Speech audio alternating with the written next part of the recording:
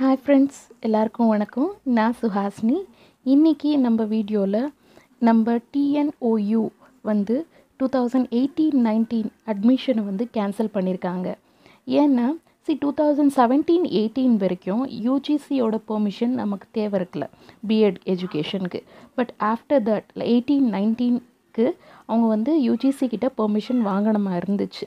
So இவங்க எப்படியும் வாங்கிடலாம் அப்படின்ட்டு என்ன பண்ணிட்டாங்க?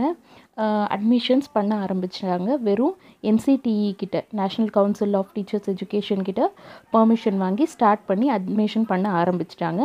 பட் யூஜிசி இப்போ என்ன பண்ணியிருக்காங்க அட்மிஷனை கேன்சல் பண்ண சொல்லியிருக்காங்க வித்தவுட் பர்மிஷன் ஸ்டார்ட் பண்ணதுனால. ஸோ யூஜிசி கேன்சல் பண்ண சொன்னதுனால ஸோ எயிட்டீன் நைன்டீன் என்னென்ன அட்மிஷன் இருக்குது எல்லாத்தையும் அவங்க வந்து கேன்சல் பண்ணிட்டாங்க.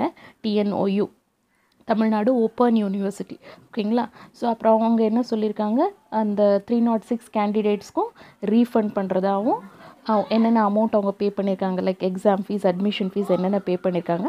எல்லாத்தையும் ரீஃபண்ட் பண்ணுறதாகவும் சொல்லியிருக்காங்க. ஓகேங்களா? ஸோ இன்னொன்று நோட் பண்ணுங்கள் இது வந்து டிஎன்ஓயூக்கு தான். ஓகே? தமிழ்நாடு ஓப்பன் யூனிவர்சிட்டிக்கு டிஎன்டிஇயூக்கு இல்லை. தமிழ்நாடு டீச்சர்ஸ் எஜுகேஷன் யூனிவர்சிட்டிக்கு இல்லை. ஓகேங்களா? ஸோ இன்றைக்கி வீடியோ அவ்வளோதான் உங்களுக்கு இன்றைக்கி வீடியோ கண்டிப்பாக யூஸ்ஃபுல்லாக இருந்திருக்கும். ஃபைன் இன்றைக்கி வீடியோ பிடிச்சிருந்தா மறக்காமல் நம்ம சேனலை சப்ஸ்கிரைப் பண்ணுங்கள் பக்கத்தில் இருக்கிற பெல் ஐக்கானை கிளிக் பண்ணுங்கள் லைக் பண்ணுங்கள் ஷேர் பண்ணுங்கள் கமெண்ட் பண்ணுங்கள் fine thank you thank you so much